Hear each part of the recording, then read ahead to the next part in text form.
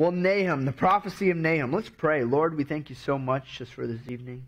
Lord, that you're, again, that you're here. Lord, that, that no matter what happens, we're still following after you. We look to Jesus, the author and finisher of our faith. No man can lay claim to that. Only you can. And so tonight we're going to continue to look to you. And we're going to do that in your word through the prophecy of Nahum. So open up this section of Scripture, this prophecy to us, Lord, as your Holy Spirit teaches us and guides us. And Lord, I pray He would speak through me your words. Or those words that you know that we need to hear, whether it's encouragement or conviction or exhortation, Lord, that you would lead us and guide us and we would be more like you. That we would increase more and more, abound more and more as you desire for us. It's in Jesus' name we pray. Amen. So, the book of the prophecy of Nahum. Now, before we start reading, just a little bit of background info on Nahum. Um, it's a short prophecy, and like most of the other prophets, this is all we have of him, um, especially the minor prophets. There's all we have in Scripture is these three chapters of Nahum, and actually, we know what his name means. His name means comforting which is not what you would expect when you read the prophecy. But um, one thing to note is God's message will always bring comfort to his people in some way or another. Well, one thing is about Nahum is we really don't know anything about him. we don't know what his if he was always a prophet or if he was like uh, Micah, where he was a you know a shepherd beforehand and then God called him, we don't know anything about the guy. We know that he's there in verse one. He's an Elkoshite, but we don't know where El, where where um, Elka is or Elkosh is. There's a lot of speculation, but no one knows. There's no other place in the Bible that mentions Nahum or a prophet of, um, from him. We also don't know the time period of it. We can't say oh, it was, you know, it was in this year because he doesn't mention a king like a lot of some of the other prophets like we'll say in the 15th year of the reign of king so and so and so we can kind of get a bearing of when he's saying this prophecy. But that doesn't matter because in the end it's not about the man it's about the message. It's not about who's saying it it's about what they're saying. Because the truth is the truth no matter who's saying it. And lastly, the one thing we can say about this prophecy is that it's to the Ninevites of Assyria. So it's going into verse 1 of chapter 1. The burden against Nineveh, the book of the vision of Nahum the Elkoshite. God is jealous, and the Lord avenges. The Lord avenges and is furious. The Lord will take vengeance on his adversaries, and who reserves wrath for his enemies. The Lord is slow to anger and great in power, and will not at all acquit the wicked. The Lord has his way in the whirlwind and in the storm, and the clouds are the dust of his feet. He rebukes the sea and makes it dry, and dries up all the rivers. Bashan and Carmel wither, and the flower of Lebanon wilts. The mountains quake before him, the hills melt, and the earth heaves at his presence. Yes, the world and all who dwell in it. Who can stand before his indignation? Who can endure the fierceness of his anger? His fury is poured out like fire, and the rocks are thrown down by him. The Lord is good, a stronghold in the day of trouble, and he knows those who trust in him. But with an overflowing flood, he will make an utter end of its place, and darkness will pursue his enemies. What do you conspire against the Lord? He will make an utter end of it. Affliction will not rise up a second time, for while tangled like thorns, and while drunken like drunkards, they shall be devoured like the stubble fully dried. From you comes forth one who plots evil against the Lord, a wicked counselor. Thus says the Lord, though they are safe and likewise many, yet in this manner they, sh- they will be cut down. When he passes through, though I have afflicted you, I will afflict you no more. For now I will break off his yoke from you and burst your bonds apart. The Lord has given a command concerning you. Your name shall be perpetuated no longer. Out of the house of your gods I will cut off the carved image and the molded image. I will dig your grave, for you are vile. Behold, on the mountains, the feet who brings good tidings, who proclaims peace, O Judah, keep your appointed feast, perform your vows, for the wicked one shall no more pass through you. He is utterly cut off. Just right there in that last verse of chapter 15, we realize that it, Nahum's name means comforting, and when you read all the other verses, there's nothing comforting about those verses if you're an Assyrian, if you're a Ninevite. However, what does he say to the Lord's people, to Judah? Peace. Keep your feast. Perform your vow. Perform your vows. You'll have peace now. And why is this? Well, it's, it's because there's going to be judgment on Nineveh. That's what Nahum is saying in this first chapter.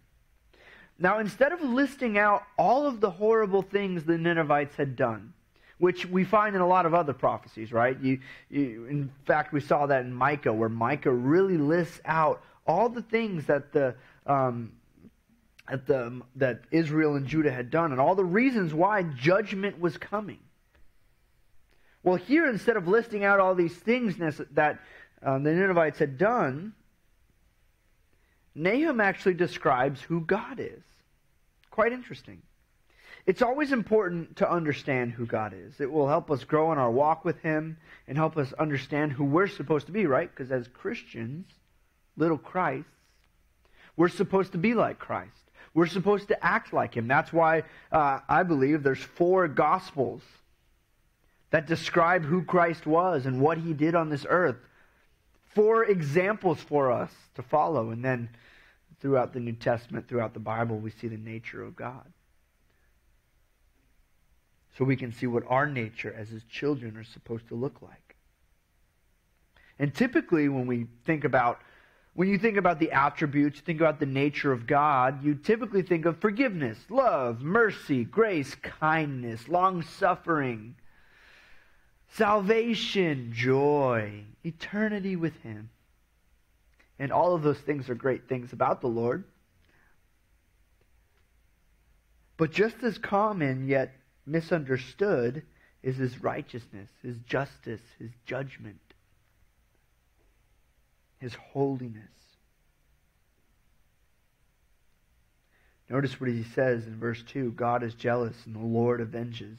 The Lord avenges and is furious. The Lord will take vengeance on his adversaries and he reserves wrath for his enemies. The Lord is the one who avenges. And those who sin, sin against him. They're his enemies. In fact, the New Testament tells us that before we met Christ, we were enemies of God. We were at enmity with God. And in fact, that's how God showed his love for us by dying for us while we were his, still his enemies. Not once we joined his side that he decided to die for us, but while we were still his enemies, he died for us. But why were we his enemies? Well, because we were working against his will. We were following our father, the devil, in sin, sinning against the Lord.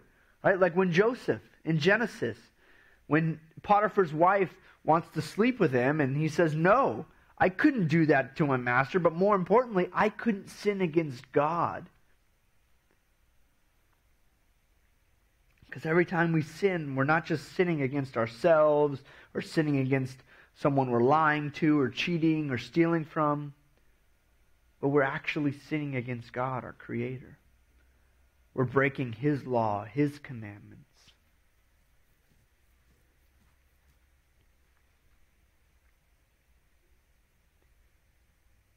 And so God, as we're told here, He takes, He avenges. He takes vengeance. He reserves wrath.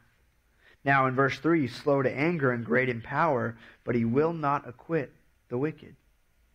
One great thing about the Lord is he is slow to anger. If he wasn't, none of us would be breathing right now. In fact, all of us are here because of God's loving, long suffering, and Him being slow to anger. But even then, he's slow to anger, but that doesn't mean he won't get angry. Right, we see in Genesis with the flood that there was a point where God said, their sin is, is too much now. It's reached this, the boiling point. Judgment has to come on the nations. And throughout, with all the judgments in the Old Testament and even the New, God gives them ample time to repent, ample time to return. But there comes a point when his justice and judgment will take place.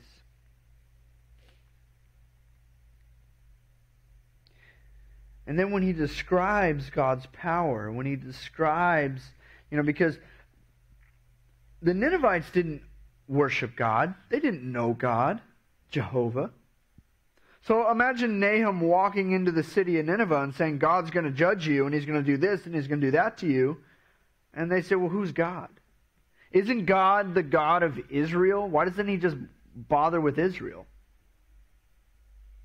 That'd be like if, if one of, if a manager from another company came into your company and started like bossing you around. You're like, whoa, whoa, whoa, you're not in charge here. That's what the Ninevites thought of God. He's, he's the God of Israel, but not the God of the Ninevites, not of the Assyrians. We have our gods, Ishtar and the Ashdod, and all these other crazy gods, images, idols. So Nahum actually is going to describe here in this first chapter, he describes that God is not just some local God. And this judgment is even going to be just this local thing that will happen in Nineveh, but he's showing God's universal power. See, the Assyrians, with their gods, they were known to worship gods that were localized, right? You had the god of the sea. You had the god of the hills. You had the god of the valley. You had the God of the skies and the heavens, the God of war, the God of peace, the God of fertility, the God of drunkenness and partying and happiness and joy. All these different gods for all these different things. And so, you know, if you were fighting a battle in a hilly area, well, forget all the other gods. Let's just worship the God of the hills, and He'll help us out. Or maybe you were in war and you wanted peace. Well, let's worship the God of peace. Maybe they'll help us out. But Nahum is showing that God is ruler over all people and all lands, right? The Lord in verse end of verse three, the Lord has his way in the whirlwind and the storm. The clouds are the dust of his feet. He rebukes the sea and makes it dry. He dries up all the rivers. Bashan and Carmel wither. The flower of Lebanon wilts. He's talking about all these different countries, all these different places and regions. The mountains quake, the hills melt, the earth heaves. Yes, the world and all who dwell in it.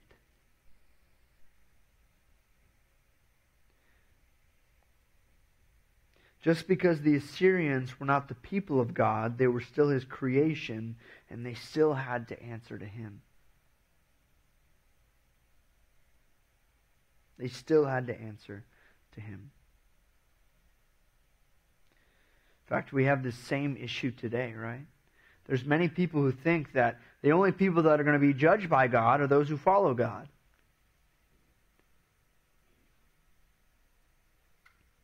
They think, well, only believers have to answer to God because that's the God they choose to follow.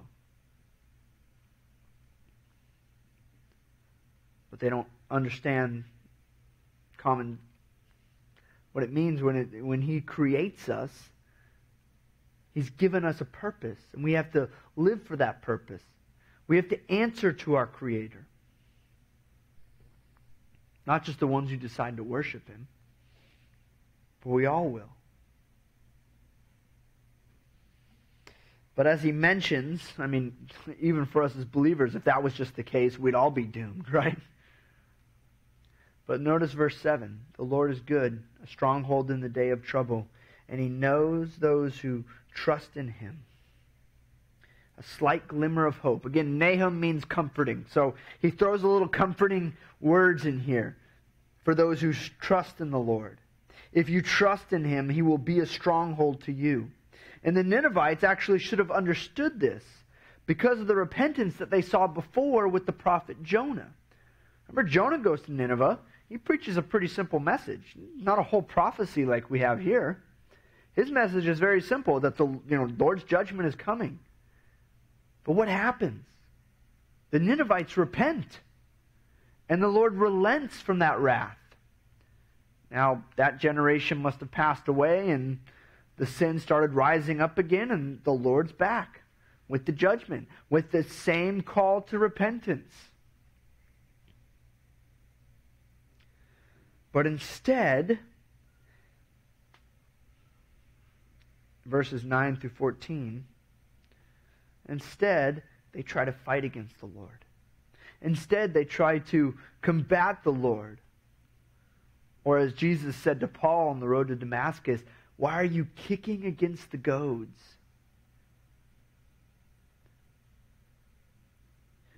You know, there are many out there who think that, um, again, if they're not worshiping the Lord, they're not acknowledging the Lord, that they have no problem with the Lord and the Lord has no problem with them.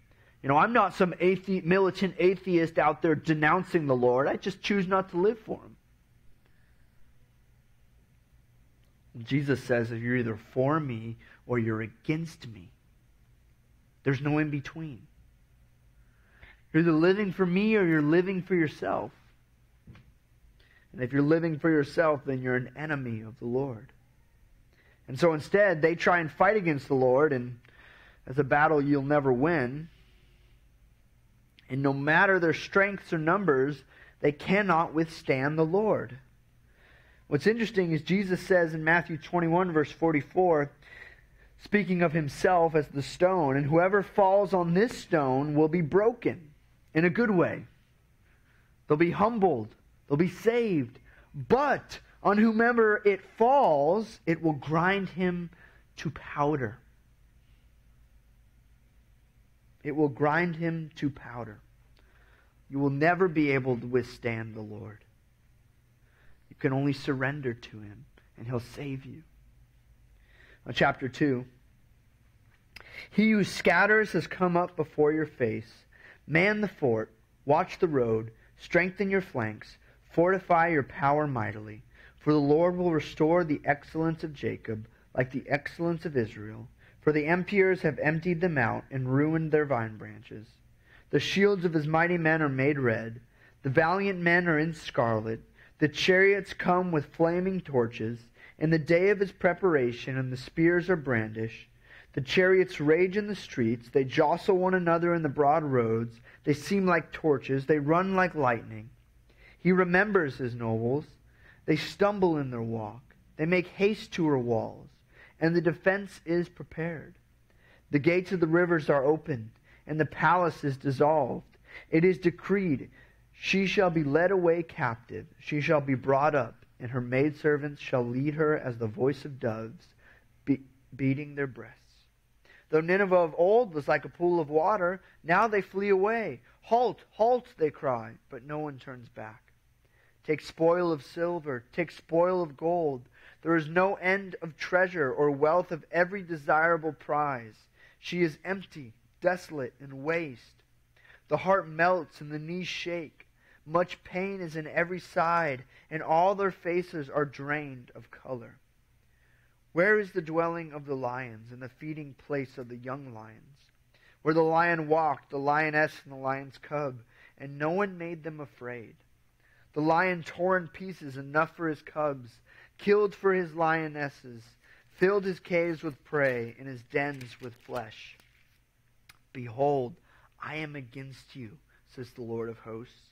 I will burn your chariots in smoke, and the sword shall devour your young lions. I will cut off your prey from the earth, and the voice of your messengers shall be heard no more.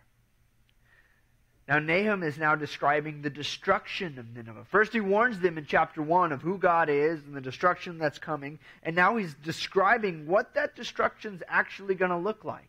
It's not going to be a little slap on the wrists. It's not going to be a, you know, a stern talking to. It's going to be complete and utter destruction.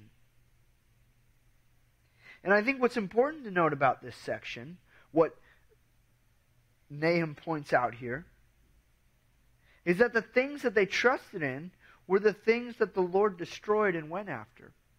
Their big army, their chariots, their strong men, or as he compares it here, they're lions and lionesses, how the lion, speaking of the Assyrian army, would go out and just devour and, and, ha- and have prey to, to anyone they came across.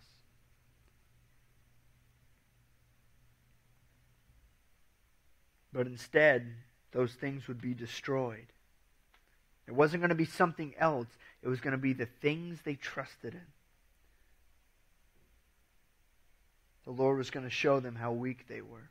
And you know, the same thing goes for us. There's so many things in our life that we trust in. I mean, I talked about before, and we're trusting in this election.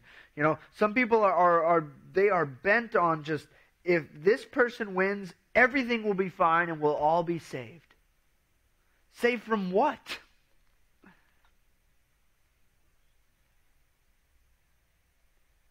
I think the more that we press into these things, like politics, and we have to have a Christian in power, we have to have this, we have to have that. I think the more we press into that instead of pressing into the Lord, the Lord's going to show us how weak those things are. Be careful. Be careful that you don't put good things in front of the Lord. And my family or my job. I, I got to do these things.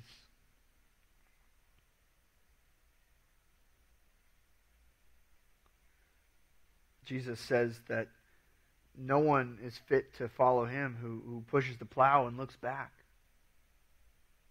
to be his disciple. When another someone else comes up to him and says, "Hey Jesus, I want to follow after you." But, you know, first let me like take care of my family and do these things. You know, let me bury my parents. Let the dead bury their dead is what Jesus says. Seek me first.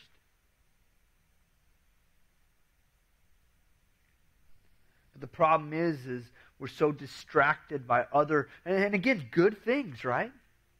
There's nothing wrong with an education, except when that's your hope. Let me get this certificate, this thing that says that I've accomplished something. Then the Lord can use me. A family.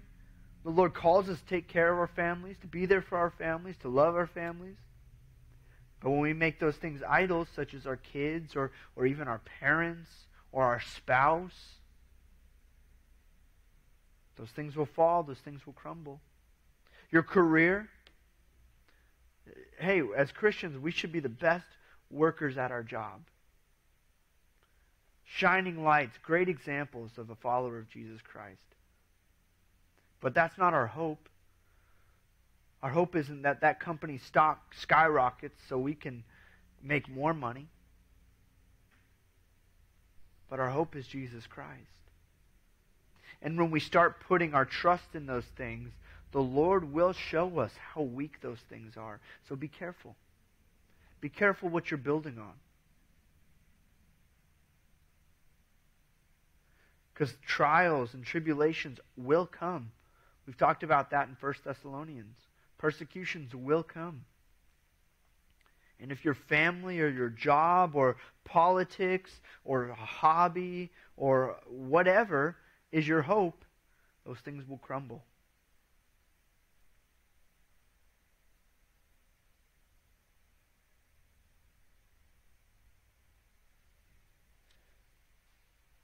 And so the same thing will go for us. That the things that we trust in, things that make us not need the Lord will be shaken. Those things will take, be taken down. They will always fail. But, as Nahum said in the first chapter, verse 7, we must trust in him to be our stronghold. Those who trust in him, he's a stronghold in the day of trouble. And so the Lord, so Nahum tells the Ninevites here that, that they're going to be empty, they're going to be desolate. You know, Nineveh was a place that everyone would go. Now, now people are running from it. This is the Lord's judgment. Now, chapter 3. Woe to the bloody city! It is all full of lies and robbery. Its victim never departs. The noise of a whip and the noise of rattling wheels, of galloping horses, of clattering chariots. Horsemen charge with bright sword and glittering spear. There is a multitude of slain, a great number of bodies, countless corpses. They stumble over the corpses because of the multitude of harlotries of the seductive harlot, the mistress of sorceries, who sells nations through her harlotries and families through her sorceries. Behold, I am against you, says the Lord of hosts. I will lift your skirts over your face. I will show the nations your nakedness and the kingdoms your shame. I will cast abominable filth upon you, make you vile, and make you a spectacle. It shall come to pass that all who look upon you will flee from you and say, Nineveh is laid waste. Who will bemoan her? Where shall I seek comforters for you? Are you better than No Amon, that was situated by the river, that had the waters around her, whose rampart was the sea, whose wall was the sea? Ethiopia and Egypt were her strength, and it was boundless. Put and Lubim were your helpers. Yet she was carried away. She went into captivity. Her young children also were dashed to pieces. At the head of every street they cast lots for honorable men, and all her great men were bound in chains. You also will be drunk. You will be hidden. You also will seek refuge from the enemy. All your strongholds are fig trees with ripened figs. If they are shaken, they fall into the mouth of the eater. Surely your people in your midst are women. The gates of your land are wide open for your enemies. Fire shall devour the bars of your gates. Draw your water for the siege. Fortify your strongholds. Go into the clay and tread the mortar. Make strong the brick kiln. There the fire will devour you. The sword will cut you off. It will eat you up like a locust. Make yourself many, like the locust. Make yourself many, like the swarming locust. You have multiplied your merchants more than the stars of heaven. The locust plunders and flies away. Your commanders are like swarming locusts, and your generals like great grasshoppers, which camp in the hedges on a cold day. And when the sun rises, they flee away, and the place where they are is not known. Your shepherds slumber. O king of Assyria, your nobles rest in the dust. Your people are scattered on the mountains, and no one gathers them. Your injury has no healing. Your wound is severe. All who hear news of you will clap their hands over you. For upon whom has not your wickedness passed continually?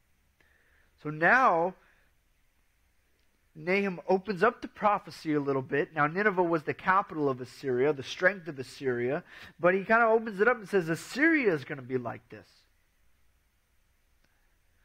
And not just Assyria, not just Nineveh, but all the things that they have influenced, right? It's interesting nowadays when a city is bombed or attacked, just in Europe last week, there was a couple terrorist attacks. And, and what do we do in, in our digital age? We, we throw out a hashtag, we throw out a new filter on our photos, you know, pray for wherever. People are, are rooting for that city to, to come back. But notice what God says here through Nahum that the people will clap over your destruction. They'll be glad that you're destroyed. For upon whom has not your wickedness passed continually? And what he says here is that Nineveh will be completely demolished. Completely. In fact, for centuries, Nineveh was actually a sharp uh, crit- critique in the Bible.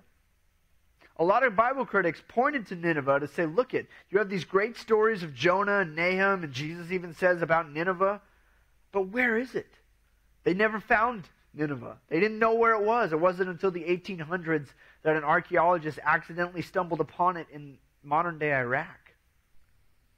But for centuries, it was completely and utterly destroyed. No one knew where it was because of all of its harlotries, all of its sorceries as Nahum says. And quite frankly, this is the end of all those that are enemies of the Lord. They will meet the Lord, and He will judge them, and His judgment will be righteous. See, all the things that the Nineveh has done is coming upon them now.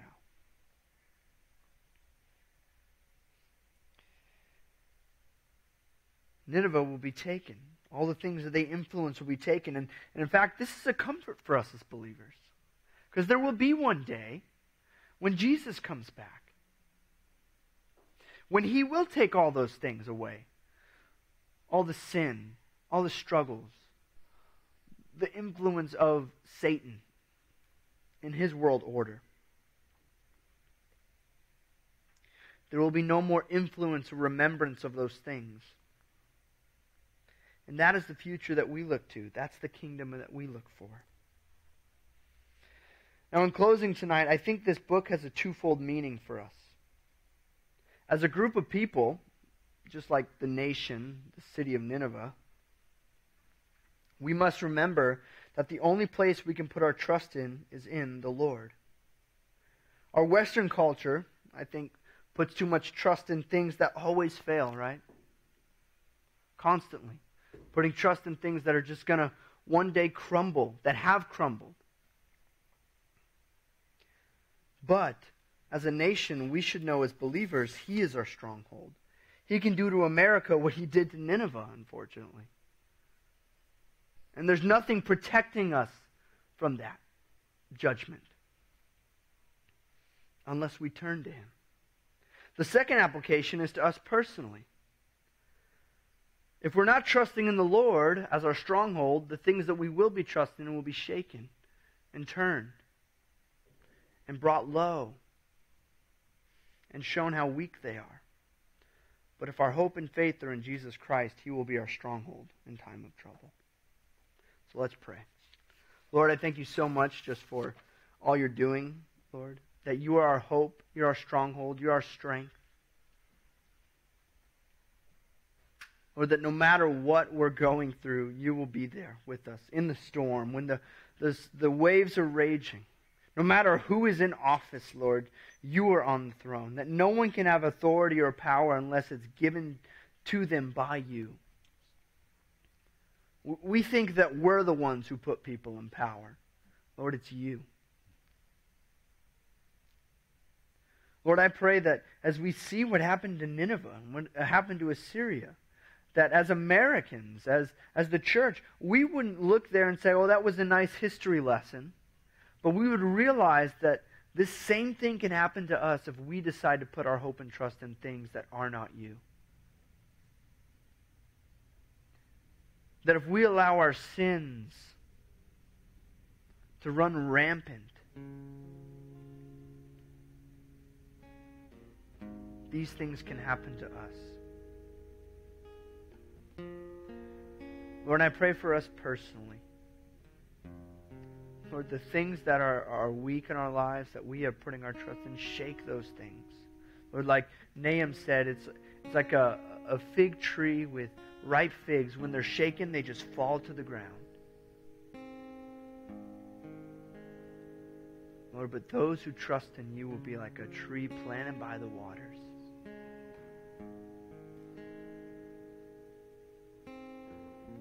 And in season, it will have, bear fruit. It'll have all the nutrients, nutrients it needs. And so, Lord, I pray we would be planted in you. Lord, be with us this evening, the rest of this week. Lord, help us to be a people that have hope. We have the hope. Let us live like it. Lord, because as we can see in our nation, people are without hope.